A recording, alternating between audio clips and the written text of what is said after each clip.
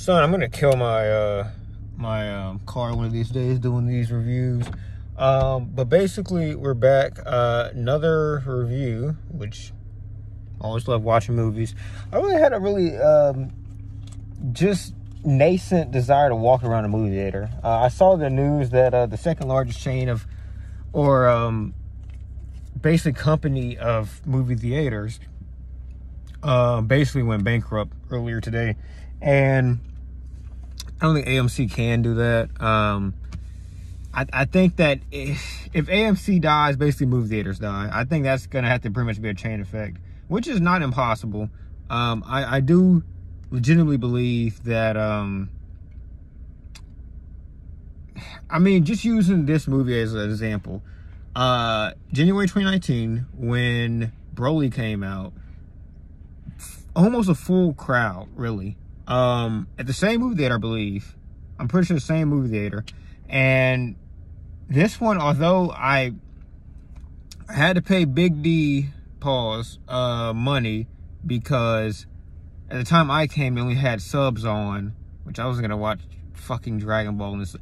If you're a subs purist with some uh, grand, legendary North American franchises, basically, like Naruto, Dragon Ball, Bleach. Uh, there's something wrong with you. All right, like this, these franchises, they're Western actors outside of. I mean, in Naruto's case, I don't, I can't think of a single Japanese actor that I think in that universe that succeeds like Naruto or Sasuke uh, in the English world. I mean, Dragon Ball may have some of the most animated Japanese voice actors ever, but they also have Sean Schemmel, Chris uh, Sabat. Uh, I mean, Kyle Hebert. Like these people, just just clear, just clear in the Western world, and I think in the Japanese world too. I mean, those people could go to Japan and get way more daps than I think the Japan Dragon Ball actors could do here. Um, I still like to say that even though it was split, I think it was like literally three shows. I think there was one that was subs. I think there was one that had no subs. And then I think there was one that had no, the, the, I mean, like, this one that's Japanese only, I believe. I Because they gave me three options. I think there was one that's Japanese only. I might be wrong about that. Uh, there's one that was subs, and then there's one that was dubbed. And I was like, why the fuck would you even have the third one. Uh, I can understand subs, but who the fuck, like, subs don't make sense to me, really, to provide. Because, um, when I went to Infinity Train or Mugen Train, um, the, the sub one was like, it was fairly packed, but like, most of those people were like, dub watchers. Like, like you could you could smell a dub watcher. Those are dub watchers. So it's just like I don't think it's enough of an audience of purists that I guess you got to supply them what you want to supply them. Like I, I just don't, I didn't get that. Uh, but anyway, uh, I still gotta say that I hope the movie theater experience is. I was like just walking around looking at an arcade that's been basically dusted up for years. Uh, I was looking at, you know, just movie, uh, like the pictures to depict what the upcoming movies are. All the ones they had up there were like outdated. Uh, not all of them, but like most of them are outdated. Uh, it's not that many movies coming out that are going to theaters. I mean, it's it's sad. I mean, I don't really want to come here and get like a pedestal uh, to introduce this this video, but it is sad to see. Um, and even, I mean, there's less being produced theatrically. I mean, the trailers. I saw the Avatar trailer for like the third or fourth straight movie I've seen that for. Uh, Oppenheimer, I saw that for Nope. Um, there was another one I saw as a, a retread. And then the previous movie I watched, I saw that was Nope. I saw the Paw movie. I saw that trailer twice. I mean, it's just it's it's sad. I mean, it's, it's sad to see how, where movies are going. Um, it's good, I guess, if you don't want to go to the theaters, which you shouldn't have to. Of course, shouldn't be a, a forced decision, but it's sad. Um, what wasn't sad was this movie. It was a very happy movie, very funny movie. I enjoyed the humor in this movie quite a bit. Uh, I, I can't imagine anyone who didn't. This was I mean, the humor was good from like the little moments that kind of existed in uh, Dragon Ball Super Broly. That wasn't. That was a humorous movie, actually, but like it wasn't like intentionally trying to be humor. It was just good dialogue, which I think all the movies have had fairly good dialogue, especially the ones not Resurrection of F. Um, I think all the movies have had good dialogue for the most part, um, and humorous dialogue when tasked to do so. And dialogue here was no different. Uh, this was kind of almost closer to quality uh, or, or, a slice of life than uh, really any other ones. You kind of get the backdrop. This is a fighting movie, kind of. I mean, it's Dragon Ball, it's fighting, all right, but like the fighting doesn't take up more than like the the the narration or the dialogue or any of that shit until like pretty much the end. I'm trying to avoid doing spoilers because it's not like it's not real. If you like really were spoiled about every plot point in this movie, I still think it would have value to watch because it is cinematically engaging. Uh, I think the CGI is not as fucking terrible as it it it felt like it'd be. Uh, I thought it'd be god awful like a year and a half ago when they first started unveiling how this movie's going to be formatted, but it wasn't that deplorable. Uh, at times, like the, the Goku, pretty much the entire like Beerus planet part was fucking horrible. That looked to me to be like a Budokai 3 game, uh, Budokai 3 anime cutscene point between Goku versus Vegeta. Um, which, oh my god, it's Goku versus Vegeta. That's not spoilers. Fucking Goku. Goku and Vegeta are in a fucking Dragon Ball movie. Oh my god. Um, and then the way you see Whis looks literally the all the Beerus planet shit was fucking horrible. That to view, like not the actual content, but the to view it was fucking awful. Uh, some uh, you can tell where the budget kind of went at times. The budget, everything from like the uh, when when when Gohan pulls up is like great to to look at.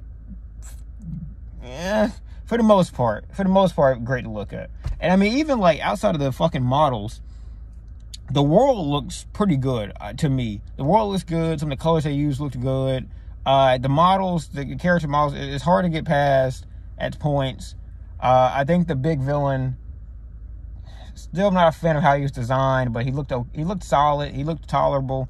Uh, not as bad as you may have expected when I first. Son, I had to delete like apps on my phone to like record this video, dude. I got a fucking freezing space on my shit. Uh, we'll try to keep this short then. Uh, but basically, I'm not gonna go to the plot plot, but I, I think the the way the movie looks is pretty much like maybe the biggest point of this movie outside of some of the Gohan moments, which uh, if you've been on Twitter at all in the past three months, they're pretty. You probably heard at least about a couple of them. Um, the plot, I thought the plot was was okay. Um, it was believable, which is obviously important. God, that's a dick ass. Uh, anyway, um, so yeah, the plot I thought was solid. It wasn't amazing, but it, it was solid. Uh, you can tell that it was initially a Piccolo movie, which is what it was. Piccolo was the original, pretty much the center of this movie, which he still kind of is. Uh, things revolve around Piccolo, but it was supposed to be like pretty much Piccolo uncontested, and then it kind of got shaped in a different way by uh, basically some advice I was given to Toriyama which I think is for the best. This would not have been, I think, a very memorable movie as a Piccolo movie. I'm not sure what he would have done because every movie they do is a nostalgia trip. So I'm not sure what nostalgia you can do for Piccolo that would have been very memorable to the majority of people. Uh, which I, son, I'm living on the borderline of Tom and Paula. I'm gonna get through this motherfucker. Uh, what was I talking about? The plot. The plot was cool. Uh, it needed to not just be a Piccolo only movie, which I think everybody else kind of made it a better piece of it. Piccolo's friends and family, I think, made it a better part. Um, Gohan was good at at. we got a cool Gohan moment. I'm not gonna say anything else. I'm not gonna be a shitter or any of that. We had a cool Gohan moment, which is cool in and of itself. To have a good Gohan moment is good enough. And we got multiple good Gohan moments. Um, the score wasn't very noticeable to me. Uh, you know, they they made some very pointed jokes to kind of like throw music on at, at, at certain points that kind of reflected the score. I thought it was okay. It wasn't amazing. It was all right. Um, what else? Uh, dialogue was good. Plot was solid. Uh, the colors I thought was really good as far as cinematog- cinematography went. Colors, especially towards the last uh, like 20 minutes, they really tried to go for some of the crazy zaniness that uh, Broly had, but like in that model, which was cool. It looked it looked aesthetically pleasing. The colors were really good, actually. Um, transformations. I go on a fucking rant about those. I'm not sure how much time I have left. Uh, the transformations were underused, uh, underdepicted, to say the very least. Um, so one guy, I'm not gonna say who, gets a transformation that's very inconsequential. I think it's another one that's more consequential. It's like, what the fuck's the point of getting him two? Just give him one and make one relevant because he's not gonna ever use the other one that was fucking irrelevant. And another guy gets transformation, and we don't see much of it, although it is really cool. But it's like this transformation means a lot to the, the story, uh, uh, at least at that point, uh, the story of the movie. And it's like, can we kind of get a little bit more of this? That would have been cool. You know, it's kind of something we was looking forward to. Um, so I was like, eh. The movie just felt like very, like the, the good moments felt, there's numerous fun moments, but like the ones that make you say, ah, fuck, like those were just a little bit too fleeting for me. Uh, and then the big gripe I have is just this, the nostalgia trip was not executed well to me, uh, or at least it wasn't executed to the fullest of its ability. If you have if you bring it back somebody they reference the way they do, uh, and I maybe not bring back, but reference the way they do, you would hope that motherfucker has more weight, which he had basically. Like imagine Nappa in, in GT when he goes back and GT like sends back to hell immediately. That's pretty much what this guy brings to the table. Just stretch over like 20 times the time maybe 200 times the time that Nappa got in fucking GT. But basically the same effect to the overall story. Uh, so, and then he has even less lines than fucking Nappa had in fucking GT. It just, it just, it, it sucks. I mean, like, this is the same that you have. I'm gonna do it. I'm uploading another uh, video that's gonna go into more effect of how good this week and month has been for Dragon Ball. But the same that you have Black Frieza, which is I guess a separate spoiler that you may not be aware of, um, in the manga, the same fucking day, you know, we get to this, and it's like, if we're gonna nostalgia, let's go nostalgia all the way. We have Frieza the strongest motherfucker in the universe. We should just have something that just really makes this character stand out. That's all I wanted. Uh, I don't have much time left in this video. I know I don't, but overall, in a truncated format, I thought it was a cool movie. Uh, it wasn't comparable super to the Broly at all to me. I mean, Broly was like legitimately close to a nine in my opinion. This is like a seven. It's fun. It's very enjoyable. It's more enjoyable than your average seven, definitely. But it's it's just a couple things that I think maybe because I was expecting a little bit more in the way of non, uh, or just moments that I think would, would translate outside this movie. Like pretty much nothing in this movie outside of one big thing should probably matter in the grand scheme of things and this movie just kind of is its own little nugget. It's it satiates. It, it kind of quenches your thirst. It's not as consequential as I think Broly was or Broly could be, uh, depending on what the anime does whenever that comes back. Seven out of ten. I thought it was a good time. I think you should watch it. Only an hour and forty, which is you know it goes by pretty quickly. Uh, and I mean it gives light to some guys that are very irrelevant in the scope of the Dragon Ball Super universe. So nice to have a movie that basically has no Goku and Vegeta. And also the after credit is really enjoyable. I definitely recommend watching uh, to the after credit. That's it for me. Sorry for the fucking, I don't know. Sorry.